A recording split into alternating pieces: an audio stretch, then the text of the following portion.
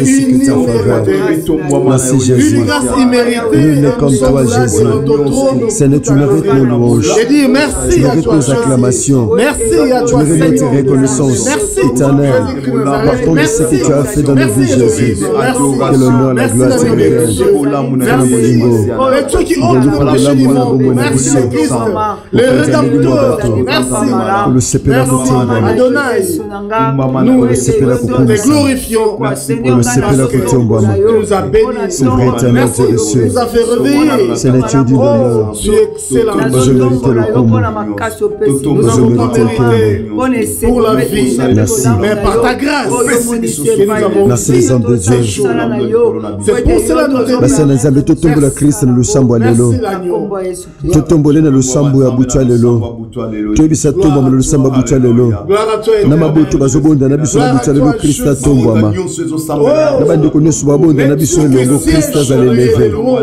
la bible dit lorsque vous aurez élevé le fils de l'homme c'est alors que vous reconnaîtrez ce qu'il est totomboli yo na samedi ya lelo totomboli yo éternel dieu des cieux totomboli seigneur dieu tout puissant adonai le tout puissant la main cachée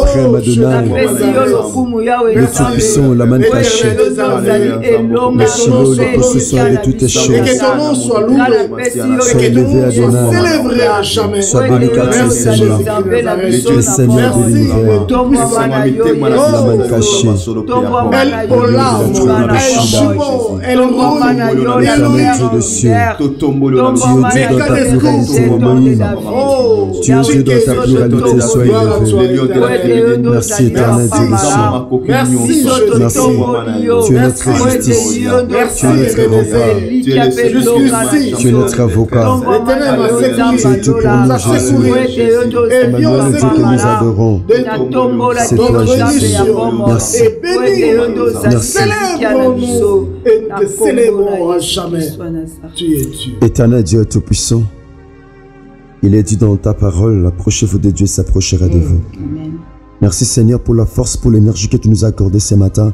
de pouvoir nous approcher de toi. Et Seigneur, Dieu de grâce, merci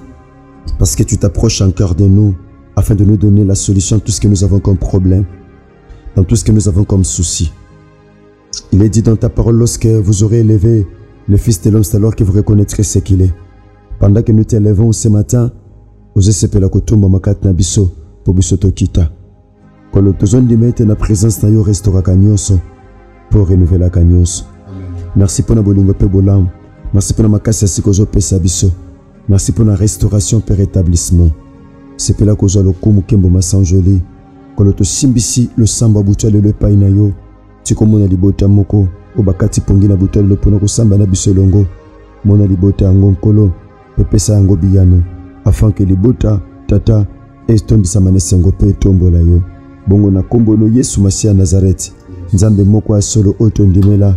nzambe osala likolo mpe se nzambe opesa bomoi na yo na ekulusu na ntina na biso mpe okokisa nyonso mosantu ya israele nde bonso na kondima lokola peple moko tobondeli mpe tolobi Merci Seigneur Jésus-Christ de Nazareth. Merci Seigneur Jésus-Christ. Acclamons le Seigneur, les hommes de Dieu. Acclamons le Seigneur, acclamons le Seigneur. Merci les hommes de Dieu. Merci papa, merci maman. Merci chers auditeurs de la radio Parole Vie. Chers téléspectateurs, il y a Jumas TV, il y a DLF TV 2, a RK Pro TV ya chiffre 9 tv to mpe bandeko mosusu oyo bozwaka losambo oyo bien aimé dans le seigneur botiaka yango na badifférentes chaîne na bino na cadre ya évangélisation tika kolo yesu masiya nazalaka ti nzambe moko ya solo mpe ya bomoi asala bino ngolu mpe bolon bien aimé dans le seigneur toza na une grande activité na états-unis d'amérique na chicago elongo na mosali na nzambe l'homme de dieu l'évangéliste jean paul mayata pasteur de la foi elongo na évangéliste daniel matondo kiyedi na mboka états-unis bien-aimé dans le seigneur dans cette grande activité bandeko bokomela biso partout à travers le monde entier lokola toza na maîtrise mpenza te lokola mpenza toza na maîtrise te ya adresse nyonso tozopesa bino numero ya évangéliste Daniel Matondo oyo ayambaki mosali na Nzambe l'évangéliste Jean-Paul Mayata na États-Unis mpe oyo cause la foi ezobanda samedi donc samedi ya lelo bango na États-Unis bakosala yango na ngonga 18h donc banda ngonga ya 18h kino ngonga 20h bongo nimero mosali na Nzambe évangéliste Daniel Matondo mais bokozwa yango déjà rapidement pour que permettre bino bobenga mpo bozwa déjà esika bozwa déjà badisposition nyonso pour que bozala na états-unis kuna na chicago na état wana pour que bien aimé de le seigneur boparticiper à cet grand événement bien aimé de le seigneur oyo ezali à cause de la foi cette activité évangélique oyo ezali na objectif moko basalut ya baame nora ezali plus plus 1 217 204 31 26 bokozwa musana nzambe évangéliste daniel matondo kiyedi merci cher papa merci cher maman kolesu masiana ezalaki asala bino ngolu mpe bolamu bandeko na ngai basi mpe ya mibali na bomipesa mikumba ntango nyonso bien aimé dans le seigneur ya kosambela na biso na kati ya radio parole vie bien aimé losambo ekotisaka moto na monde ya badécision mm. losambo bien aimé dans le seigneur eza echangeaka badonnées Le chant, le sambo bien-aimé dans le Seigneur ebongolaka makambo bien aimé dans le seigneur mpe bato basomba te losambo ekosombisa yo oyo bato bazwa te losambo ekozwisa bien aimé tobondela epai na nzambe la bible dit bien aimé dans le seigneur na mokanda na jérémie chapitre 28 bien aimé nabeti bokosambela nga bokoluka nga mpe bokokende mpe nga na kosala mpe hmm. bokotatola bino to na mposa toexperimente loboko na nzambe bien aimé nzambe amimonisamaka na nzela losambo hmm. nazondima na losambo oyo toyosanaka jo parole vie samedi ya lelo bien aimé eoleka boye te hmm. bien aimé totangaki bibilia depuis debut ya semaine oyo tobandaki depuis mercredi par la grâce de dieu totangaki bibilia mama likambo tozolobela les hommes de dieu courbé par les esprits courbé par l'homme mais redressé par jésus-christ de nazareth eza na bato ebele les hommes de dieu bagumba vie na ye bagumba sante na ye bagumba libala na ye bagumba maternité na ye bagumba mpo baprojet na ye bagumba batitre de séjour na ye mon frère masende kosamba na biso satana kumba de yaya agumba yo na domaine nini agumba domaine nini ya sante ya vie na yo mon frère ma soeur tokoza kodecouvrir yango ana kati ya bible totangaki na évangile selon luc na chapitre na yango 13 tobandaki na verset 11 na pai wapi bible elobi krist aza koenseigne na synagogue krist aza koteya sango malamu ndenge biso toza koenseigne loba na nzambe na butu ya lelo Christ aza enseigné. Pendant qu'on a enseigné, il y avait là une femme possédée d'un esprit qui la rendait infirme. Et ça qui n'a moi si moko wana molimo mabe arandaki infirme mwana mwasi akomaki na infirmité na volonté na ye te mais na volonté ya baesprit mabe eza na bato ebele akoma infirme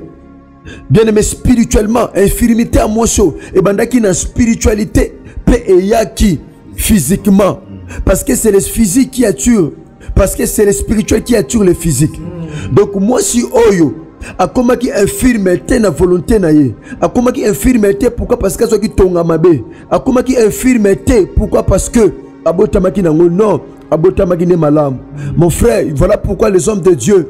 apôtre paul azoba na bandeko ya galate na chapitre 5 na verset 7 Abi, vous courriez bien, qui vous a arrêté. Abi, cette influence ne vient point de celui qui vous a appelé. Bande kokima malamu nana telemisi bino. Makambo bande kokende malamu nana pe empêcher makambo ekende malamu. Libale bande kokende bien nana empêcher libale ekende malamu. Commerce bande kokende bien qui vous a empêché. Mais albakisi na koloba que cette influence ne vient point de celui qui vous a appelé alobi un peu de levain peut lever toute la pâte levire ya moke evimbisaka pati ya, ya monene apôtre paul ntango alobi likambo ya bongo abi un peu de levain peut lever toute la pâte awa epai tozwami les hommes de dieu krist aza koenseigne la bible dit yavela une femme akomaki infirme infirmité nde ezalaki physique mwana mwasi ovie ekomaki ya kogumbama eza bato ebele les hommes de dieu pendant que nous prêchons santé egumbama libala egumbama baprojet egumbama destiné egumbama baklasse egumbama vie chrétienne egumbama rien ne marche dans sa vie eloko moko etambolaka eza te akoma infirme bato bakoma kotyola bato bakoma koseka mbala wamona mwasi oyo agumbama ngai nabalaka mwasi ya boye te mwasi agumbami na ndako na ngai akezwa mwasi mosusu na libanda mbala akoki kosupporte te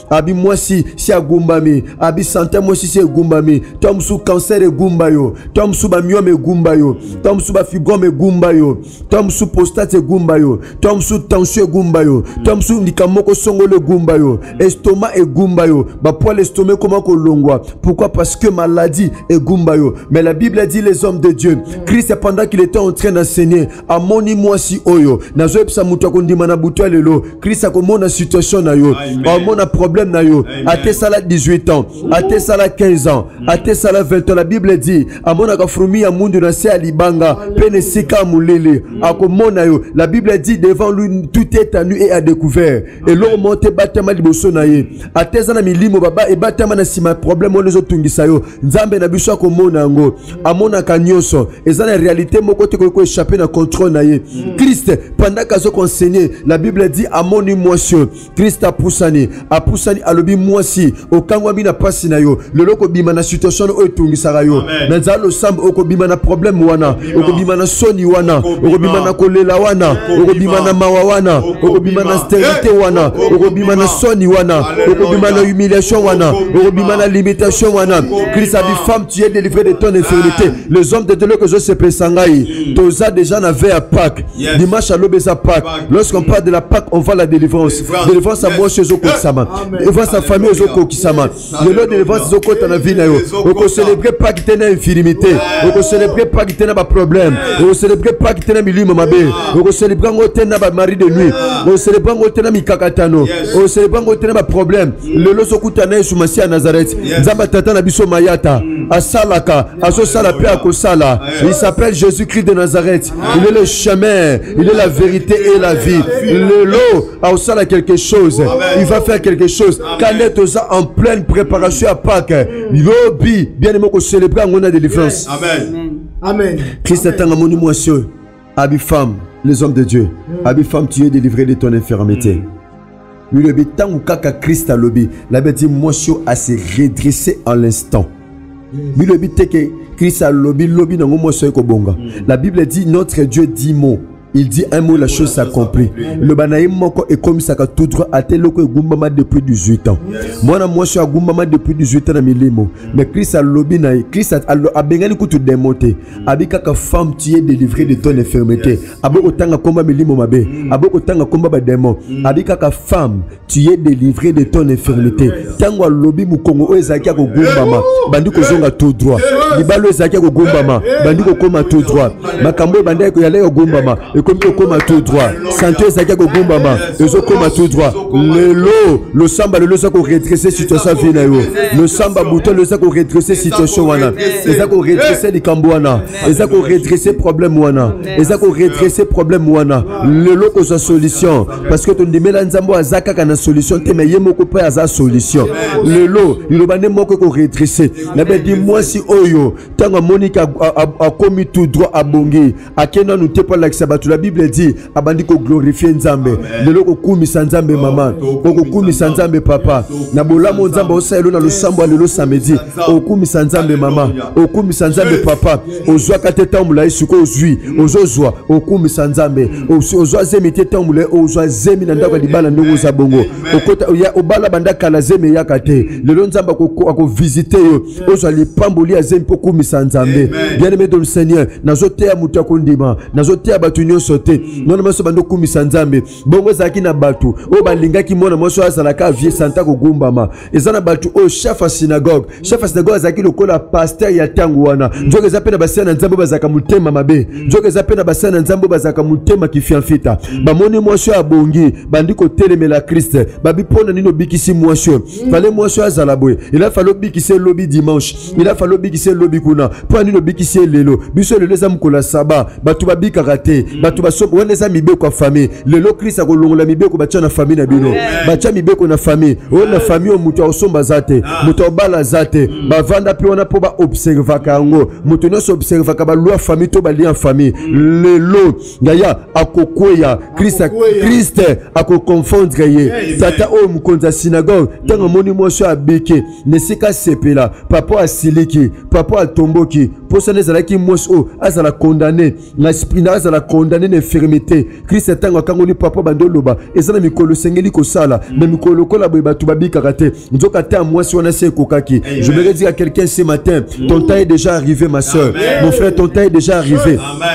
lelo eza mokolo na yo mm. eza mokolo esengeli obika eza mokolo esengeli osomba mm. eza mokolo esengeli oteka eza mokolo esengeli omata eza mokolo esengeli ofongwama ya koperdre équilibre te oza nango mm. koperdre équilibre te c'est ton jour ma soeur c'est ton jour mon frère mwana mwasi ayaka nde synagogue abikaka nde te me mokolo wana lokola ezalaki ngonga na ye abiki lelo eza na nzambe moko abikisa yo oh, eza na nzambe moko osala bolamu eza na nzambe moko okangola yo eza na nzambe moko osala quelque chose lelo nabondeli epa ozwami mon frère nabondeli epa ozwami ma sœur epa ozali nabondeli oyo yaya kaka na tia losambo oza nango wana zwaka loboko ya mobali tombola zwaka loboko ya mobali tombola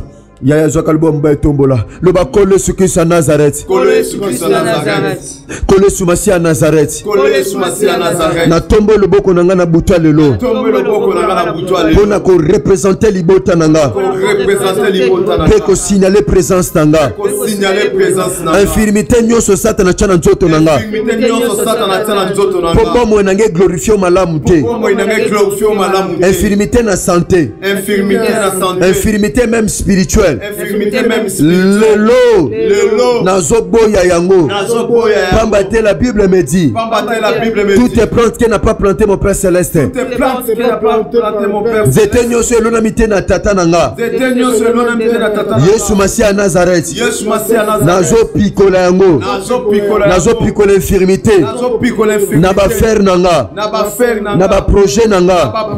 na destine na nga na ndako na nga na makambo na nga lelo nazopikola yango maboko nazobeta eza mpona pikola yango beta maboko sambela pikola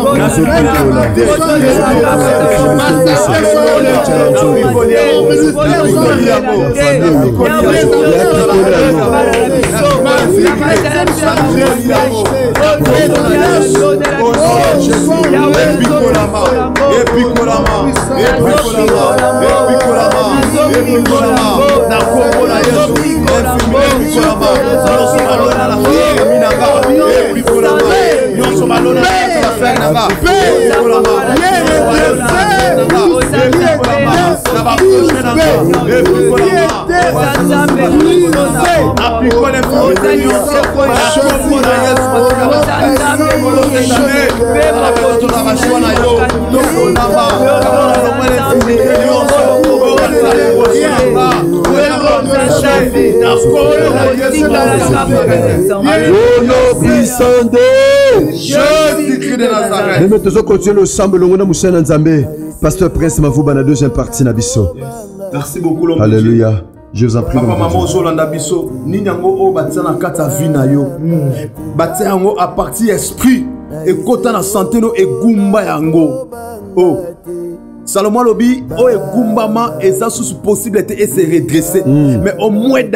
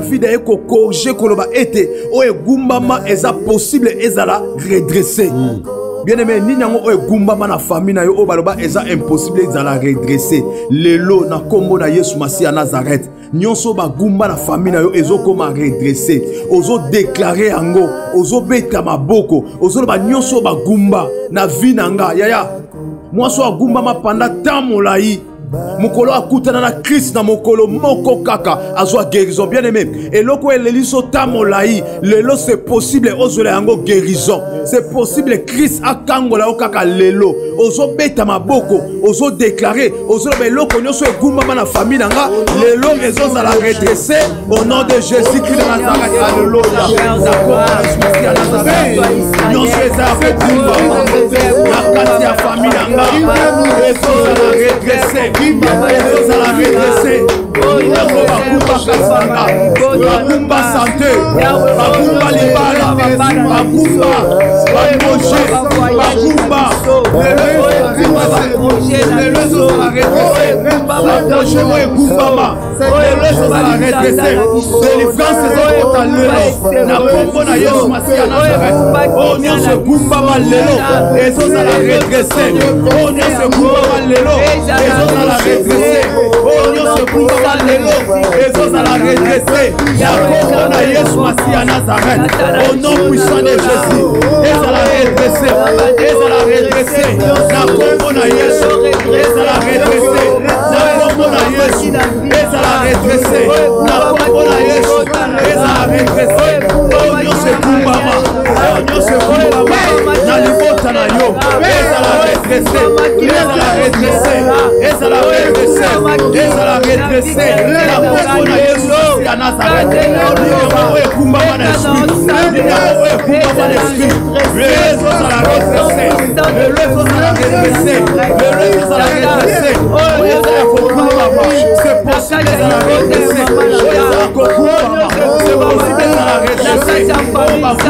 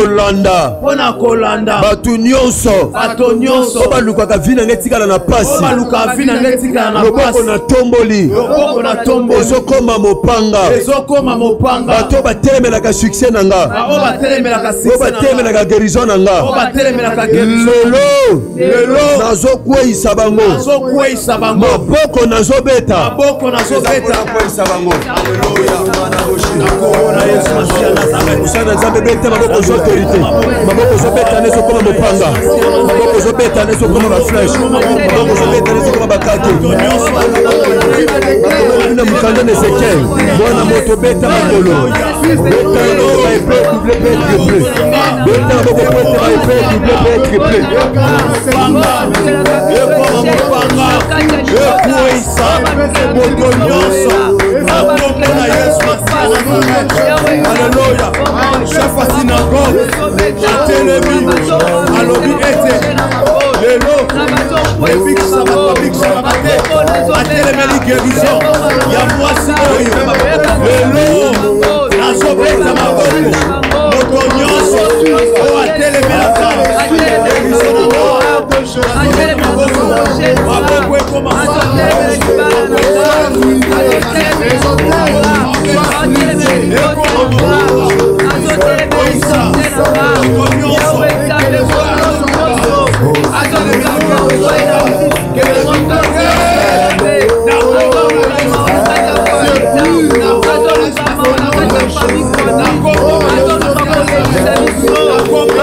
pelisa moto papa pelisa moto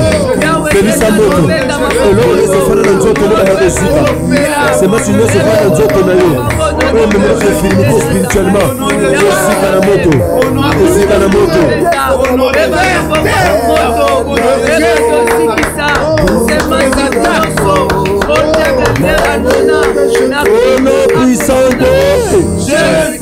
Le sang de Dieu.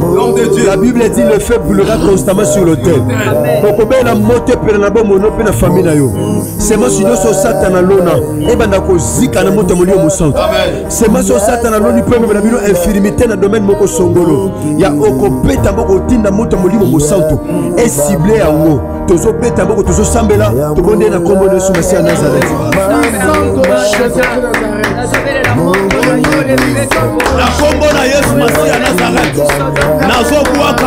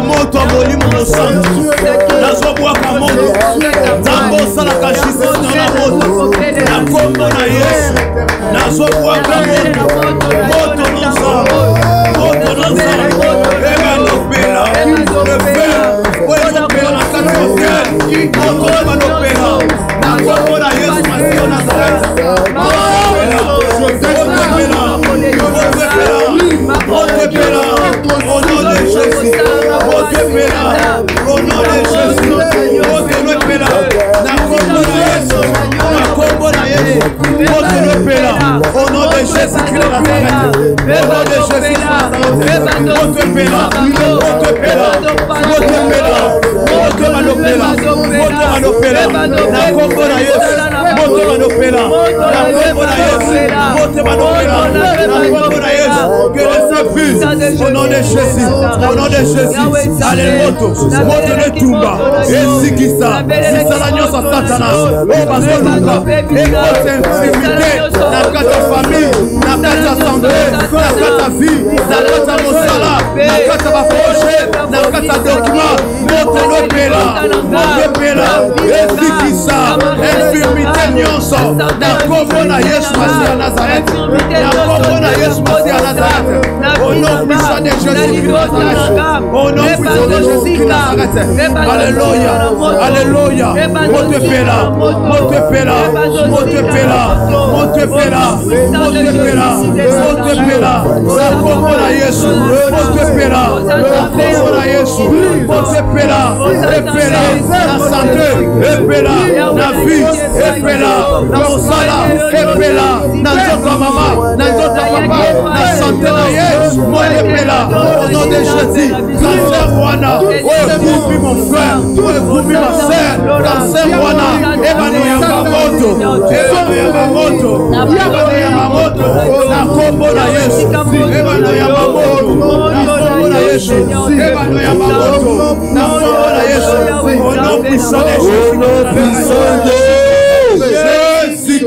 les hommes de dieu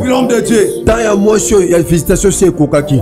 oyebisa nzambe mayata yesu masiya nazareti mm. nzambe asolo mpe ya bomoi nzambe amata na croix mm. oloba nkolo tika lelo yaka visitation na ngai ekoka na butu alelo na losambo alelo samedi mm. ta na ngai visitation ekoka heure na ngai visitation esone mm. ta na ngai ekoka na butu aloka nde na osambela mm. ta na ngai visitation ndenge te ya mwasi ekokaki yanga mpe ekoka na butu ya lelo banda kodeklare yango